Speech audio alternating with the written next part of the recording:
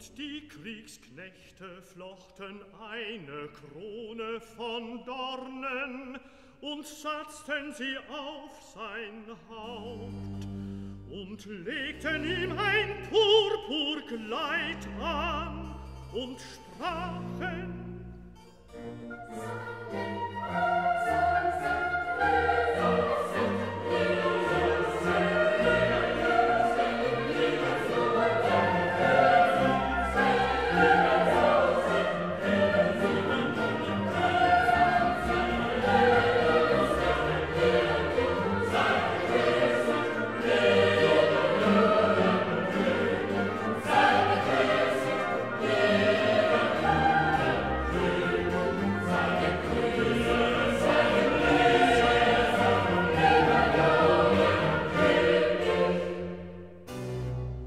und gaben ihm Backenstreiche.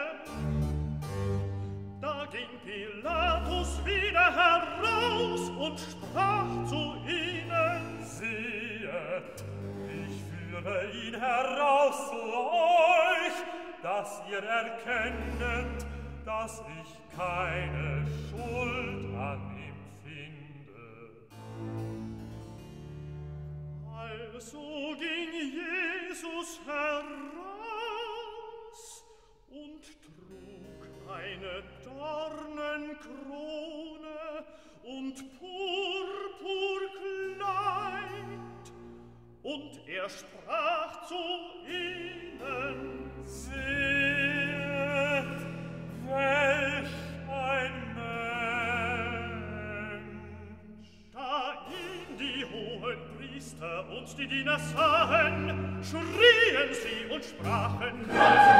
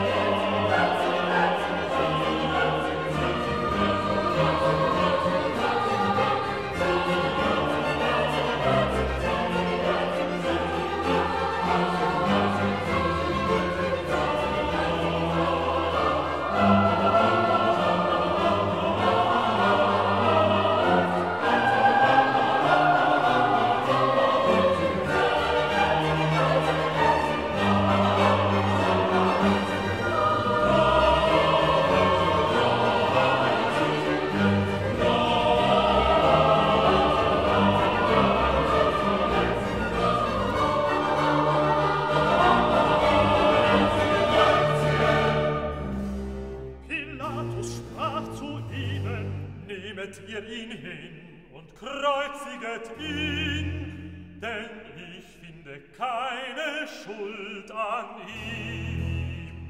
Die Juden antworteten ihm, Wir haben ein Gesetz und laut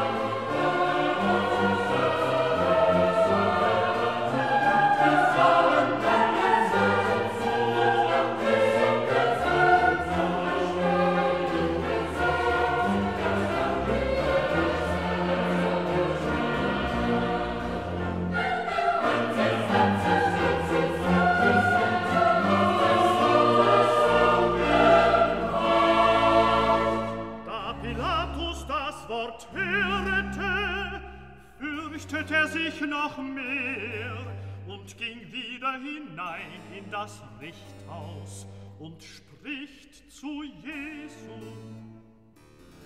Von wannen bist du?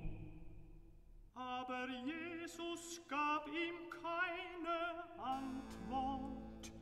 Da sprach Pilatus zu ihm, redest du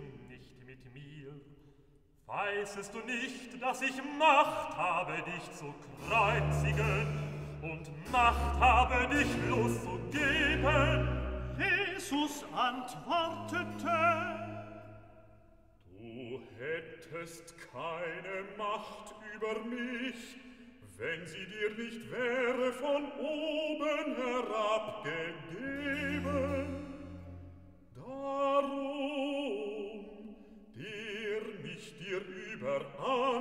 verantwortet hat, dir hat's größere Sünde.